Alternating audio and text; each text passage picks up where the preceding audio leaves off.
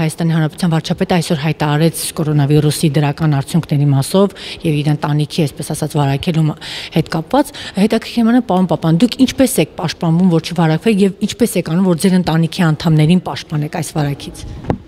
Տեսեք, ես կարծում եմ, որ նախ ֆիքսենք, որ ակնհայտ է պարետատան սահմանած կանոնները պաշտպանելը իմ կարծիքով մինչև 90%-ով մարդկանց, այսպես ասենք, վարակվելու հավանականությունը փոքրացնում է, բայց որևէ մեկ որևէ մեկը անգամ այս պարագայում պաշտպան այդպես ասած այդ վարակվելուց այդ հնարավորությունից պաշտպանված չէ, ինչը ցույց տվեց վարչապետի դեպքը, ակնհայտ է, որ այս դեպքում բոլոր կանոնները ըստ էության պահպանվել են, բայց մի դեպքը, որը ինքը ներկայացրեց կամ մեկ այլ կարող է այդպիսի դիպված պատճառ դառնա, բայց մենք մեր գործողություններով կարող ենք այնպես անել, որ այդպիսի պատճառները հնարավորինս քիչ լինեն։ Ինչպես ինչ ենք անում, փորձում ենք հնարավորինս քիչ անել գործողություններ, որոնք միշտ արել ենք։ Այսինքն օրինակ խանութ ենք գնում 4 օրը մեկ, ոչ թե ասենք նախքին գրաֆիկով ամեն օր, եթե անհրաժեշտ էր ինչ-որ մի բան։ Դուրս են գալիս միայն, այսպես ասենք, աշխատանքի գնալու դեպքում։ Շատ-շատ շատ ընկերների կարոտել ենք, բայց շփվում ենք միայն հեռախոսով, տեսազանգով, չենք հանդիպում, ընկերական նախքին հավաքույթները չեն լինում։ Ծնողների այցելության եմ գնում շատ ավելի մեծ բարբերությամբ, հա, շատ ավելի ուշ, ուշ, քան ապրում ծնողները ձեզանից։ Այո, քան սովորաբար է։ Ինչին անգամ երբ եք ձեր ծնողներին հանդիպել։ Մեկ շաբաթ առաջ, բայց դրանից առաջ երկու շաբաթ չէի հանդիպել։ Այսինքն փորձում եմ այս պարագայում էլ այդ տևողությունը էլի մեծացել է եւ փորձում ենք հնարավորինս քիչ հանդիպենք։ Եվ այսպես շարունակ, այսինքն ազգային ժողովում գրում եմ դիմակ, եթե դուրս եմ մնում փողոցում եմ լինում, գրում եմ դիմակ, որևէ իրի կամ որևէ գնում կատարելուց հետո կամ նույն ազգային ժողովում ամբիոնի իջնելուց հետո միշտ ձեռքերս մշակում եմ ալկոգելով։ Այսինքն այն բաները, որոնք որ բարդ չեն, տարական բաներ են, բայց հանուն նրա որ չվարակվենք եւ հանուն նրա որ չվարակեմ իմ ընտանիքի անդամներին, իմ ընկերներին, իմ ծնողներին, իմ գործընկերներին եւ բոլոր այն մարդկանց ում հետ շփվում եմ, ես հանուն այդ ամեն ինչի անում եմ դա։ Ման պապան, խորհրդարանը ընտրվում է ժողովրդի կողմից եւ խորհրդանի ներկայացուցիչները պետք է բարբերաբար շփվեն ժողովրդի հետ, նրանց խնդիրների մասովետակ իմանան վերջին անգամ երբ եք շփվել, այսպես ասած ժողովրդի հետ եւ ինչպես եք նրանց իրավիճակը բացատրել։ Վերջին անգամ շփումները եղել են երևի թե ըստ էության մարտ ամսին մարտի կեսերին է եղել վերջին շփումները դրանք հիմնականում քարոզարշավի ընթացքում էին, որից հետո ավարտեցինք, ավարտեցինք եւ ըստ էության քաղաքացիների հետ բակային հանդիպումներ այս ընթացքում չեն եղել, չեն եղել իմ նշած շատ པարզ պատճառով, ինչ այդ ես որպես կանոն գրեթե ամեն ամիս օրինակ թաղապետարանում կամ ինձ մոտ աշխատասենյակում քաղաքացիների ընդունելություն եմ ունեցել, միշտ քաղաքացիները երբ որ որևէ շենքում ինչ որ խնդրով ահազանգել են, միշտ այնտեղ եղել եմ։ Այս ընթացքում առանձին դեպքեր եղել են, երբ որ առանձին քաղաքացիների ընդունել են պահպանելով կանոնները եւ իրենց խնդիրներն եմ լսել, բայց դրանք հնարավորինս փորձել եմ անել հերախոսազանգով, տեսազանգով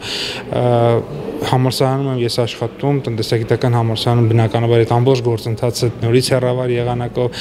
սա ցույց է ցույց է տալիս, որ եթե մենք ուզում ենք, այսպես ասած, կանոնները պահպանել, իմ կարծիքով հնարավոր է։ Հեշտ է դա, կարծում եմ ոչ հեշտ է, ոչ դժվար, այսինքն մի փոքր անհարմարություն իհարկե բոլորիս պատճառում է, բայց կարծում եմ դա համեմատած այն անհարմարությանը, երբ որ մենք տեսնում ենք թե ինչ վիճակում են հայտնվում մարդիկ հիվանդանոցներում եւ ես լսել եմ պատմություններ, օրինակ համ համի զգացողությունը կորցրած մարդու կամ հոտի զգացողությունը կորցրած մարդու կամ մարդու մասին, ով ընդհանրապես հևելով է խոսում ավելի քան 15 օր, այսինքն շնչում է այնպես կարծես 10 հարկանի շենքը ոդկով նոր է բար բարձրացել եւ 10-15 օր շարունակ, այս ամեն ինչը կարծում եմ շատ ավելի բազմապատիկ, հարյուրապատիկ ավելի դժվար է, ել չասած, եթե մենք այս սրան զուգահեռ դնենք նաեւ այն, որ որոշ մարդիկ առողջական անդառնալի կորուստներ են կրում, իսկ ոմանք նաեւ մարդկային, այսինքն որոնք մարդիկ որոնք ուղղակի մահանում են, ինչը անչափելի է որևէ կերպ։ Հասարակության զգալի մասը անլուրջ է վերաբերում, դա ակնհայտ է։ Մենք ինքներս նաև մեր շրջապատում շատ հանդիպում ենք մարդկանց, որ սա միֆ է, սա հեքիա, թե այս թվերը կրակում են, նման բան չկա անհանգստանալու։ Ի վերջո բոլորս հիվանդանալու ենք, իմունիտետ ենք ձերբերում, մեծ ոչինչ չի լինի եւ այլն։ Այս անլուրջ մոտեցման դեմ դուք որպես падգամավոր ինչ եք անում կոնկրետ հասարակության այս անլուրջությունը ինչ որ չափով այդպես ավելի լուրջ մոտեցման բերել։ Տեսեք, այստեղ էլ կա բան։ Եթե ես համեմատեմ փետրվար, մարտ ամիսը, ակնհայտորեն ես պիտի համաձայնվեմ ձեր հետ, որովհետև այդպես է։ Նույնիսկ այն մի քանի օր սկզբից ինչ որ մարդկանց մոտ խառնվել էին իրար,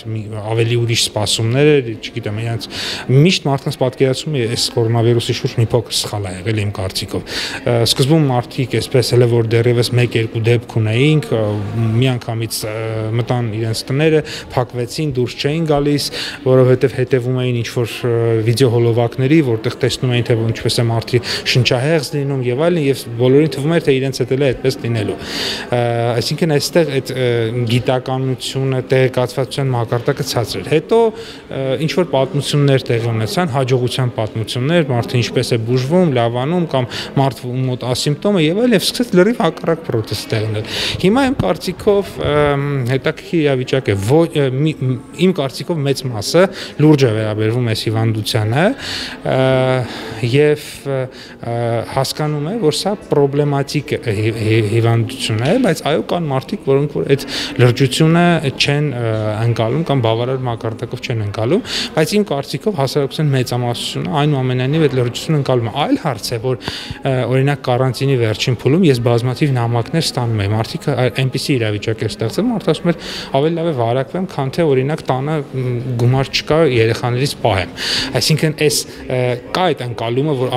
ակնհայտ է վարակվելու են, այդ վարակելուց մարդիկ են մահանալու, առողջություն են կորցնելու, իրենց ընտանիքները եւ երեխան կամ ծնողը ոչ, այսպես ասած հաճելի վիճակում է հայտնվելու, մեղմ ասած, հա, բայց այստեղ նաև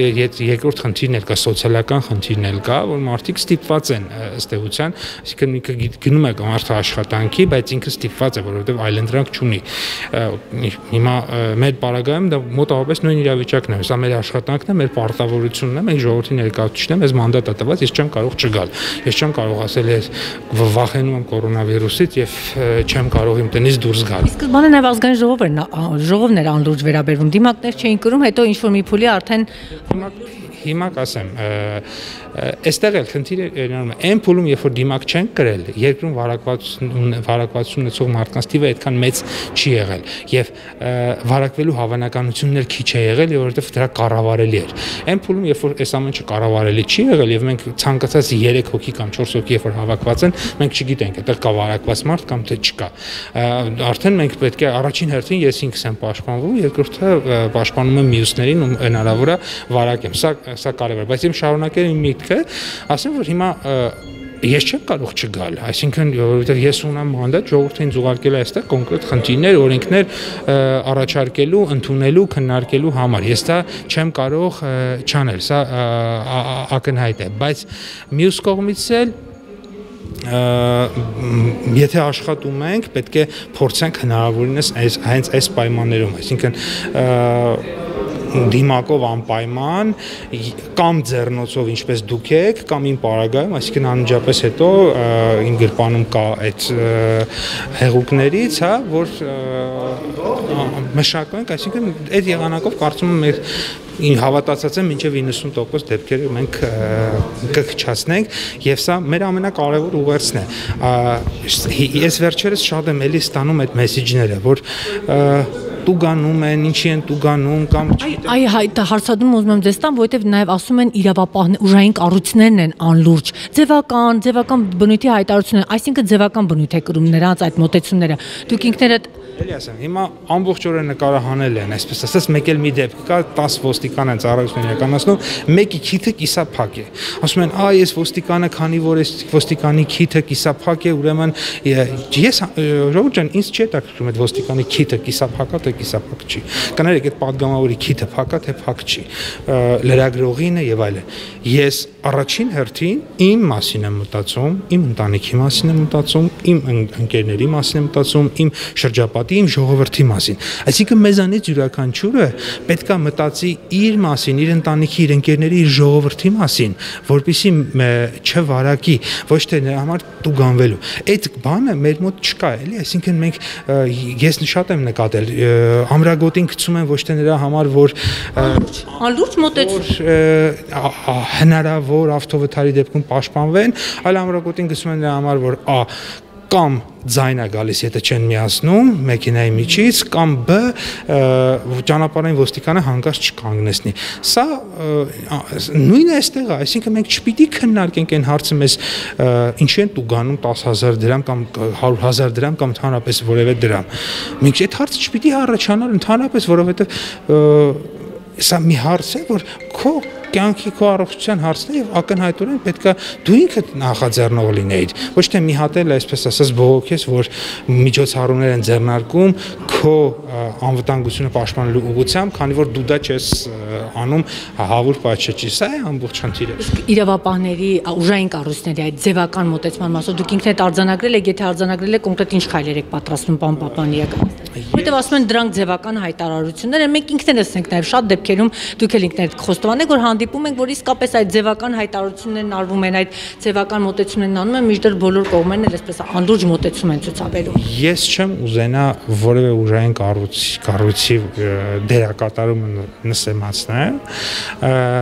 եւ ասեմ, որ այստեղ ձևական են անում, այստեղ ձևական չեն անում։